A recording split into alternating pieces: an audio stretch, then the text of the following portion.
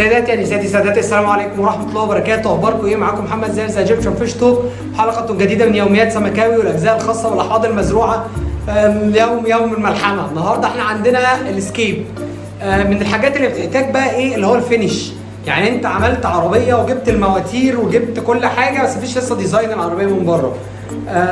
هنقعد أنا ومحمد حسن النهارده أه، نفكر في الخشب. معايا. نفكر في الخشب والكلام ده وهنرسم جوه الحوض عشان ما ننساش مكان الخشبة وإيه هنحطها مكان إيه والكلام ده. آه جايبين خشب النهارده حتى فروع لوحدها عشان نطعم بيها. في تفاصيل كتيرة النهارده هنتكلم عليها. يلا نخش في العمل على طول.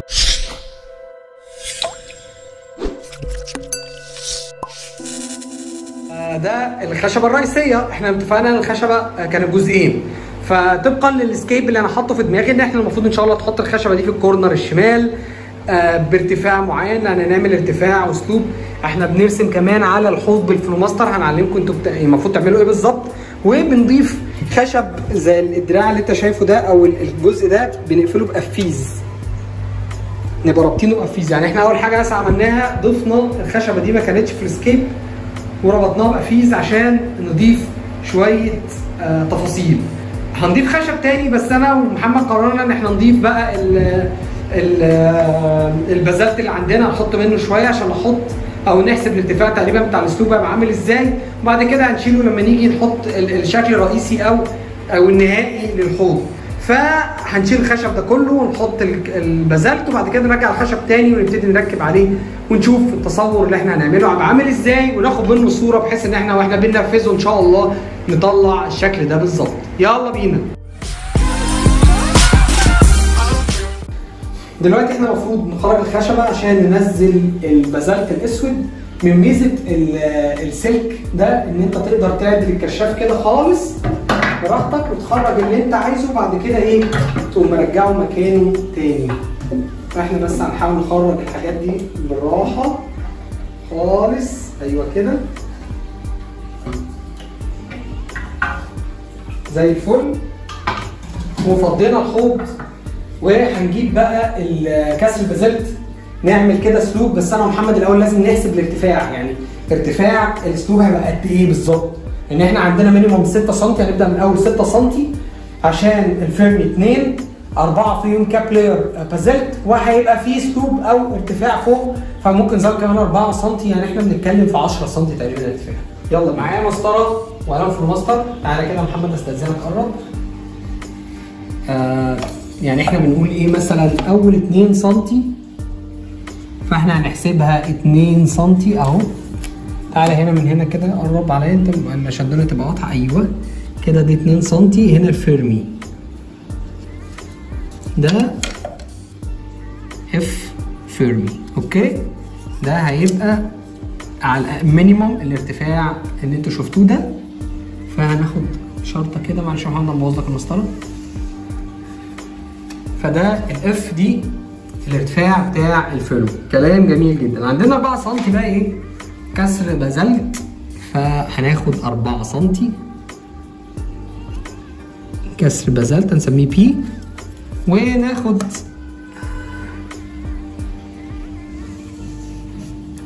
خط كده كمان.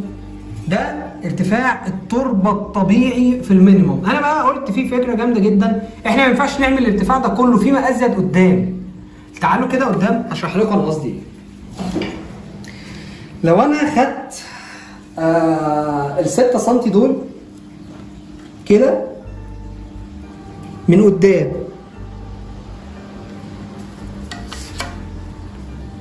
لك أن تتخيل شكل التربة من قدام الحوض هيبقى كل دول volume هتبقى كل ده 2 سم آه آه vermi وأربعة بازلت ده ال minimum ده انت كده هيبقى ارتفاع طب إحنا إيه الفكرة؟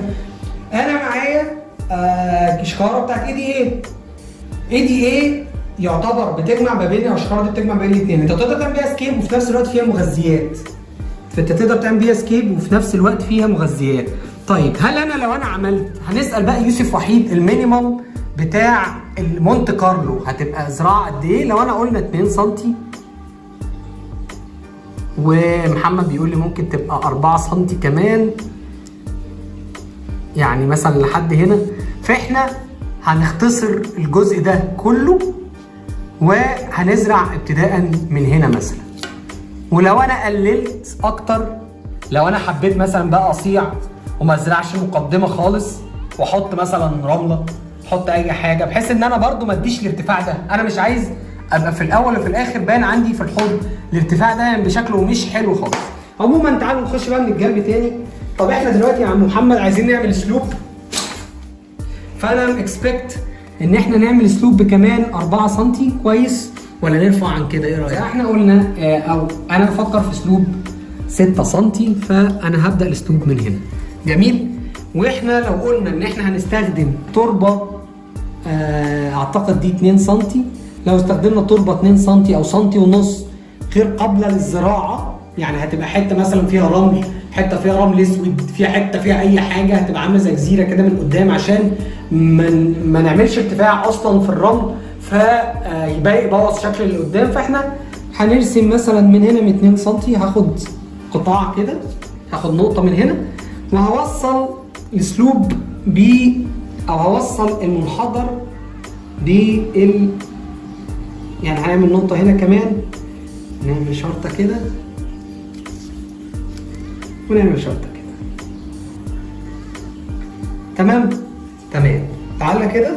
بص يعني ده هيبقى شكل منحدر من الجنب ده فيرمي ده بازلت وده هيبقى كمان في الأغلب كل ده بازلت أو أو أو لسه مش هنعرف هنستخدم ال ADA إزاي. يعني أنا لو حطيت رمل في الأول عشان أعمل فاصل أو شكل مفصول شوية فهستخدم ال ADA في الأغلب قدام عشان الارتفاع كبير أعتقد إن النباتات هتحتاج آه مغذيات تحت يعني. فإحنا هات الكاميرا. ها إحنا رسمنا كده فيرمي بازلت وده الارتفاع اللي إحنا هنعمله هنعمله بالبازلت هنعمله بأي حاجة مش مشكلة. آه ده مهم جدا جدا جدا. ومن قدام برضو تقريبا إحنا عرفنا إحنا رايحين فين وهنعمل إيه. محمد دلوقتي رسم رسمة كويسة جدا إن إحنا هنعمل اسلوب من من من يعني إيه منخفض من هنا وهنخفض كده. بس أنا شايف إن هو ينخفض من هنا مش بالحده دي. أمسك كده؟ هقول لك أنا رأيي برضو. يعني إحنا ده اولنا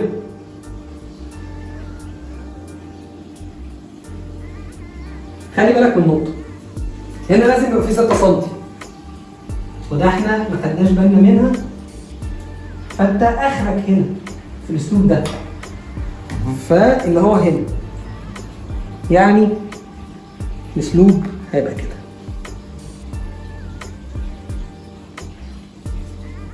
ده شكل التربة من ورا. إذا إلا إذا ما رفعتهاش وهننزل قدام شوية. طب معنى إن إحنا ننزل قدام شوية معناه إن أنا ما ينفعش أحط هنا ال 6 سم بس. لأن أنا لو أنا حبيت أعمل منحدر لقدام لازم تكون دي عالية. عشان هنا المينيموم 6 سم هيبقى في جزء مثلا في الأول في أول تلتين أو أول ثلاث أرباع والربع هيبقى غير قابل للزراعة. إحنا ممكن نعمله فاصل. فمعناه إن إحنا هنطلع من هنا ممكن كمان 2 سم وهنزود ال 2 سم يسمع في الأسلوب كله. يعني إيه؟ يعني إيه؟ يعني إيه؟ طيب. آه إحنا هنا قلنا ده ال 2 سم ال minimum ال 6 سم ال minimum. فأنا شايف إن إحنا نطلع 8 سم هنا كمان. أنا هعمل لكم عليها من جوه. ده. ده ثانية. ده 8 سم ويبقى ال slope كده. يعني؟ يعني في جزء مرتفع من هنا نحط عليه الخشبة وهتبقى الدنيا نازلة لحد الجزء ده وهتنزل من قدام لحد ال 6 سم هيبقى في ثلاث أبعاد مع بعض في نفس الوقت. هنجيب بقى إيه بازلت أسود ونقعد نشرح بقى اللي إحنا رسمناه ده رسم يعني. يلا بينا.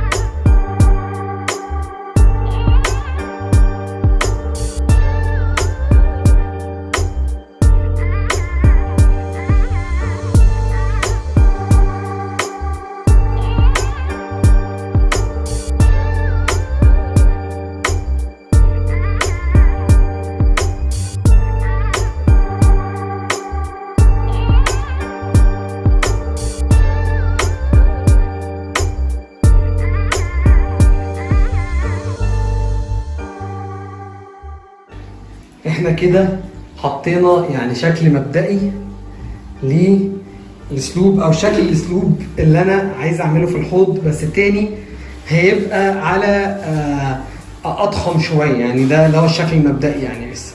فتعالوا بقى نحط الخشبة ونجرب مع بعض. هننزل بقى الخشبة. الرئيسية اللي إحنا جايبينها. لسه بقول لمحمد إحنا مجانين وعند الله. إحنا إيه اللي بنعمله في نفسينا؟ بس إن شاء الله في الآخر الناتج سيستحق المغامرات اللي إحنا عاملين نعملها. عشان نطلع حاجة فعلا شكلها حلو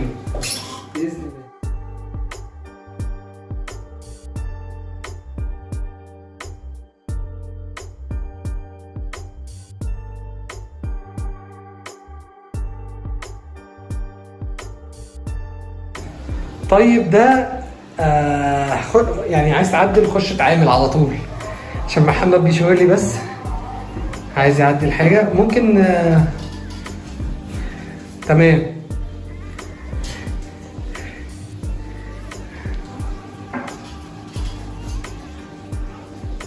محمد عمل إيه؟ ضغط إحنا بس عايزين نقفل النور. ضغط ال- الخشبة في قلب الاسلوب بحيث إن هي تبقى كأنها خارجة من الأرض. هتدينا مساحة كبيرة إن إحنا نزرع براحتنا. الجزء ده كله قابل للزرع الأرضي وهنزرع كمان الخشب. طيب إحنا كان في كام قطعة كنا مرشحينها عشان تزود الفوليوم اللي في الحتة دي شوية. يعني الحتة دي فاضية وكنا أضفنا برضو أعتقد قطعة صغيرة هنا. فتعالى يلا بينا. آه خليني هتصرف زي ما أنا كنت حافظ.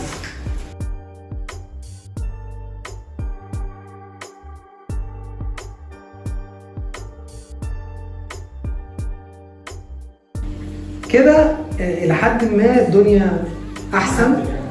بس يعني إيه هنعدل شوية تعديلات. يعني هي اتجاهات برضو هن هن هنحط هن- هنزود عليها. إيه رأيك في آه، آه، يعني availability إن إحنا نحط صخور؟ أنت كنت جايب صخور معاك. طب طلعها نصها على الأرض ونوريها للناس وممكن نحطها إزاي؟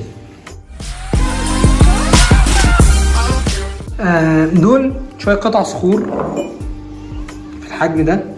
عايزين نفكر يا محمد؟ نقدر نطعم ال scape ده صخور عاملة إزاي؟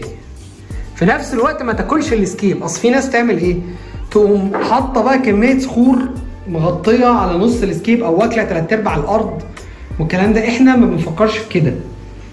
ف هنفكر أنا ومحمد هنحط صخور دلوقتي. كروكي وحطينا التفاصيل في الخشب. على فكرة أنا ضفت حتة كمان حتة صغيرة دي عشان ما تسيبش مساحة فوق. الجزء ده كده لما يشرب مية ويطلع عليه مص ويطلع آه، بشكل مختلف هتعرف إن يعني آه، الموضوع هيبقى جميل جدا جدا جدا. طيب في حاجة اسمها تطعيم بالخشب بال- بالصخور. وأنا كنت عايز أدخل في ال scape جزء صخور في نفس الوقت ما أخسرش ال volume اللي أنا هزرع عليه. فكانت أفضل حتت اللي حوالين ال- الخشب. وكمان ممكن نطعم بصخور. في حتة في الجزء ده بس صخور صغيرة. فأنا معايا شوية صخور آه، عملنا بروفا فهننفذها قدامكم دلوقتي هركبها لكم. وفي مكان الصخور هحط مكان الصخور دي lava rock لحد ما نلاقي حاجات على قدها إن شاء الله بكرة. ونبتدي نحط آه، الحاجة ونقول آه، ده خلاص it's okay ده تمام جدا جدا جدا. فاستاذن محمد تمسك الكاميرا. وهنبدأ مثلا بالصخرة دي. كانت الاتجاه ده. الصخور لما بتتحط في التطعيم ده يعني انت شايف ان هي بارزة قوي لكن الصح ان هي بتبقى مدفونة. صح انها بتبقى مدفونة أكتر من كده كمان شوية؟ يعني كده باين بس الجزء اللي فيه تفاصيل. فانا بوريك هي بتتحط تقريبا إزاي. طبعا الصخور اللي ليها بروز باصة لفوق. حطها هنا كده كويس. وهتدفن برضو تعالى من هنا. وبص كده على شكلها من بعيد. من يعني ارجع بقى كده وبص على الشكل كده من بعيد. بيبقى شكلها حلو وهتدي آه، بعد تاني. هنحط كمان قطع إحنا كنا حاطينها. أستاذنك.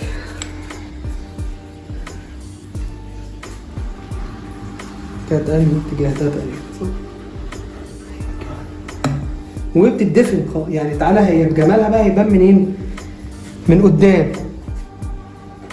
تبقى مدفونة كده. فبيدي منظر جميل قوي قوي قوي قوي عندنا بقى اللابرات دي جايد إحنا محتاجين حتة أو اتنين صغيرين مثلا في الجزء ده بالظبط. بحيث صخور بحيث إن أنت يعني يديك الشكل إن هو على مرتفع جبلي شوية متطعم بشوية صخور. ال- إن مونت كارلو هتطلع إن شاء الله في في الحاجات الحتت اللي فيها فراغ دي.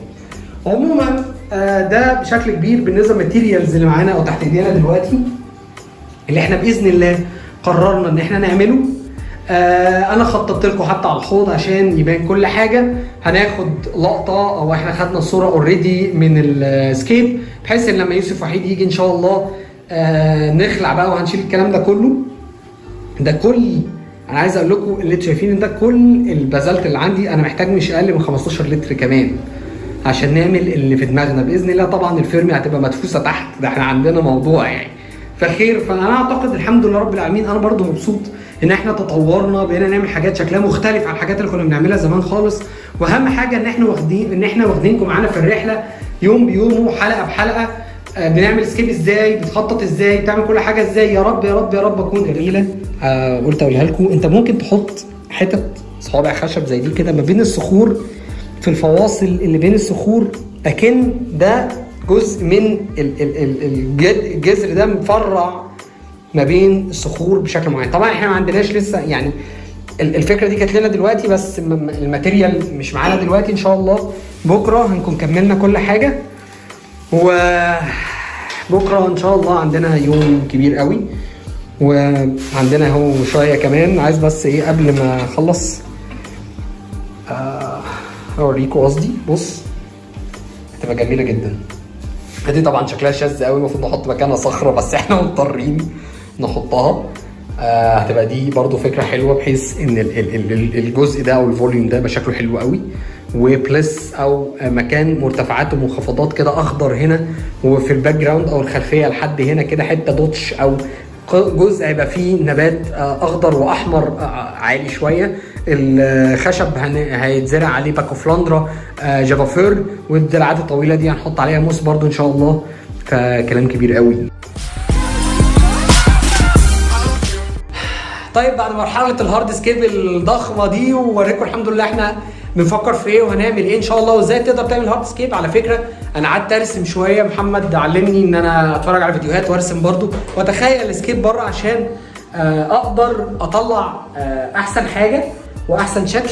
فربنا كريم إن شاء الله ونطلع حاجة آه، ترضي الناس كلها وترضي الناس اللي مستنية. share و subscribe بقى وانشر عند الناس كلها. إن شاء الله بإذن الله بكرة عندنا يوم كبير قوي هنروح مزرعة يوسف هننقي الزرع سوا ونشوف إحنا قلنا الزرع ده ليه وبناء على إيه والكلام ده.